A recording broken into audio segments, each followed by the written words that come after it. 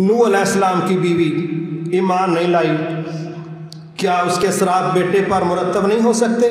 बेटा भी गया, बीवी भी गई। नसीरुद्दीन शाह हिंदुस्तान में एक फ़िल्म स्टार है। मैं उसका चंद दिन पहले इंटरव्यू सुन रहा था। उसने अपनी गैर मुस्लिम बीवी का तस्करा करते हुए कहा, हमारे दरमियान मज़हब मसला नहीं है। हमारे दरमियान मज़हब मसला नहीं है। बच्चों को सारे नजरियात का पता है। खुला ऑप्शन है। हम ज़बरदस्ती नहीं करेंगे। अब क्या करना है? ज़बरदस्ती करनी या नहीं करनी?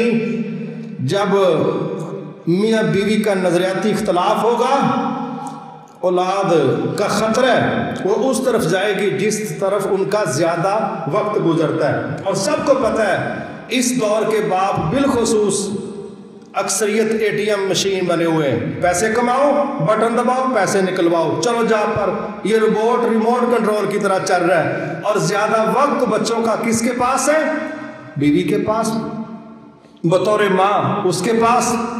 अब अगर हम सिर्फ़ पैसे कमा के सिर्फ़ सौदे थमा के ये समझे कि हम बड़ा तीर मार रहे हैं तो शायद ये मसलों का हल नहीं है। इसलिए मैं चाहूँगा कि हम सब इस बात को अल्लाह से डर के तय करें कि मर्दों से ज़्यादा आबादी जो ख़वातीन की इस वक्त मौजूद है और वह ज़िंदगी के तमाम शुजात में भी मौजूद हैं और उनके पास बड़ी बड़ी सलाहियतें हैं और बड़े बड़े अहम अहदे हैं और माशरे को मुतासर करने के बड़े अहम मौक़े हैं।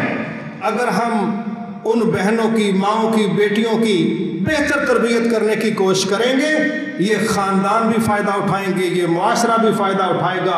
हती कि इन बतौर मोमना औरतें वो अल्लाह की जनतों की मालक भी इन बनेंगी। ये हमारी ज़िम्मेदारी है।